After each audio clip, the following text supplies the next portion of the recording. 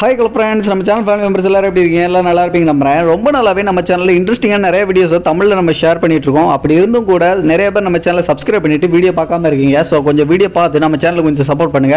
இப்போ கூட நம்ம சேனலை சப்ஸ்கிரைப் பண்ணாமல் இருக்கீங்கன்னா சப்ஸ்கிரைப் பண்ணி பெல் நோட்டிஃபிகேஷன் கரெக்டாக செட் பண்ணி அப்போ தான் நான் போடக்கூடிய அடுத்தடுத்த வீடியோஸை மிஸ் பண்ணால் பார்க்க முடியும். இந்த வீடியோ ஃபுல்லாக பார்த்து முடிச்சா ஒரு வீடியோக்கு ஒரு லைக் கொடுக்க மறந்துடாதீங்க. நீங்கள் கொடுக்குற ஒரு லைக் மூலமாக எனக்கு அடுத்தடுத்த வீடியோஸ் போடுறதுக்கும் மோட்டிவாக இருக்கும். ஃபேக்ட் நம்பர் ஒன் இந்த வீடியோ பெண்கள் பார்த்துட்டு இருந்தீங்கன்னா அதுலேயும் குறிப்பாக டெய்லி மேக்கப் போடுற பழக்கம் இல்லாட்டி அப்பப்போ மேக்கப் போடுற பழக்கம் உள்ள பெண்களாக இருந்தீங்கன்னா கண்டிப்பாக இந்த ஒரு விஷயத்தை தெரிஞ்சு வச்சுக்கோங்க. ஆக்சுவலாக பார்த்தீங்கன்னா அந்த மேக்கப் போடுறதுக்கு யூஸ் பண்ணக்கூடிய அந்த ப்ரெஷ்ஷை பார்த்தீங்கன்னா ஒரு வாட்டி மேக்கப் பண்ணிட்டோம் அப்படின்னா டெய்லி வாஷ் பண்ணணும் அப்படின்னு சொல்கிறாங்க அதை வாஷ் பண்ணாமல் வச்சுட்டு நம்ம அடிக்கடி வந்து யூஸ் பண்ணுறோம் அப்படின்னா அதில் ஒரு டாய்லெட்டில் இருக்கக்கூடிய பாக்டீரியாவோட அதிகமாக அதில் தங்குமா? அதனாலேயே அந்த ப்ரெஷ்ஷை ஒவ்வொரு வாட்டி மேக்கப் பண்ணி முடிச்சதுக்கப்புறம் வாஷ் பண்ணணும் அப்படின்னு சொல்கிறாங்க ஃபேக்ட் நம்பர் டூ இந்த உலகத்தில் இருக்கக்கூடிய ரொம்ப ஸ்ட்ராங்கஸ்டான உயிரினங்கள் எதுன்னு கேட்டால் கண்டிப்பாக உங்களுடைய பதில் யானை ஒட்டகம் அப்படின்னு தான் இருக்கும். ஆனால் அந்த லிஸ்ட்டில் எறும்பு இருக்குன்னு சொன்னால் உங்களால் நம்ப முடியுதா? சராசரியாக ஒரு எறும்பால பார்த்தீங்கன்னா அதோட வெயிட்டை விட ஐம்பது மடங்கு அதிகமான வெயிட் உள்ள பொருட்களை தூக்கிட்டு போக முடியுமா? அதனாலேயே இந்த உலகத்திலேயே ரொம்ப ஸ்ட்ராங்கஸ்டான உயிரினங்களில் இந்த எறும்பும் இருக்குது.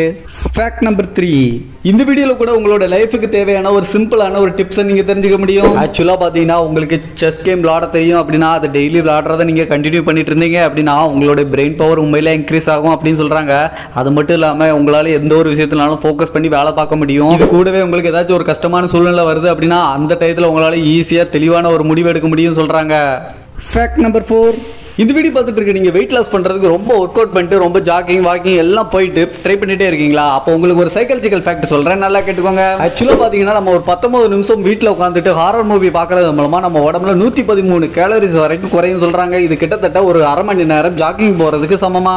ஃபேக்ட் நம்பர் ஃபைவ் நம்மளுடைய சேனலில் நிறைய பிடிஎஸ் ஆர்மி இருக்கிறீங்க அது நல்லா எனக்கு தெரியும். அப்படி இருக்கக்கூடிய பிடிஎஸ் ஆர்மி கிட்ட நான் இப்போ சவுத் கொரியா பற்றி ஒரே ஒரு கேள்வி கேட்டால் நீங்கள் ஷார்ட்டாக மூணே எழுத்தில் முடிச்சிருவீங்க பிடிஎஸ்ன்னு அப்போ இதே கேள்வியை சவுத் கொரியாவில் இருக்கக்கூடிய மக்கள் கிட்ட கேட்டால் அவங்க இந்தியாவை பற்றி என்ன சொல்கிறாங்க என்ன நினைக்கிறாங்கன்னு தெரிஞ்சுக்கலாமா? சவுத் கொரியாவில் இருக்கக்கூடிய மக்களை பொறுத்த வரைக்கும் இந்தியாவை பற்றி என்ன நினைக்கிறீங்க அப்படின்னு கேட்டால் நம்ம எப்படி நம்ம நாட்டில் இருந்துட்டு பிடிஎஸ்ன்னு சொல்கிறோமோ அதே மாரி அவங்க காந்திஜியை சொல்கிறாங்க அது மட்டும் இல்லாமல் இந்தியாவுக்கு போய் பார்க்கணும்னு சொல்லிட்டு எனக்கு ஆசையாக இருக்குன்னு சொல்கிறாங்க அதே சில பேர் பார்த்தீங்கன்னா இந்தியா போய் விசிட் பண்ணுறதுல எனக்கு கொஞ்சம் பயமா இருக்குன்னு சொல்றாங்க. ஆனா என்னதான் இருந்தாலும் சவுத் கொரியா பார்த்து கத்துக்கிட வேண்டிய ஒரு பாடம் நமக்கு இருக்குதுங்க. அப்படி என்னன்னு பாத்தீங்கன்னா ஆயிரத்தி தொள்ளாயிரத்தி நாற்பத்தேழுல நம்ம இந்தியாவுக்கு சுதந்திரம் கிடைச்சிச்சு. ஆனா ஆயிரத்தி தொள்ளாயிரத்தி நாற்பத்தெட்டுல தான் சவுத் கொரியாவுக்கு சுதந்திரம் கிடைச்சிச்சு.